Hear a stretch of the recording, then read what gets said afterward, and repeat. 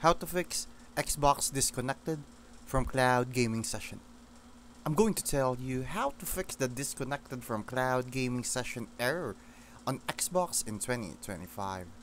This usually happens because of unstable internet, server hiccups, or an outdated app.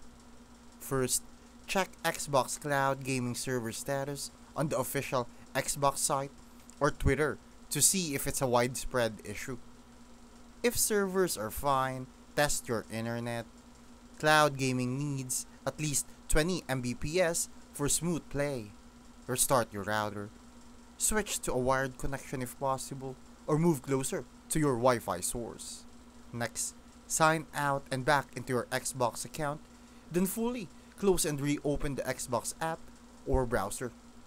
If you're on a console, try a full power cycle. Hold the power button for 10 seconds, unplug it, wait, then restart. Lastly, make sure your browser, Xbox app, or console firmware is fully updated. In most cases, these steps will get you back into your game without that annoying disconnect.